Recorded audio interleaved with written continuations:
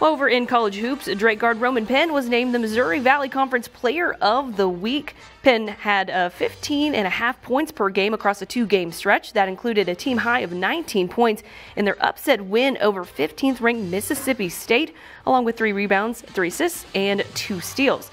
The Bulldogs will return to action on Thursday at home against Valpo.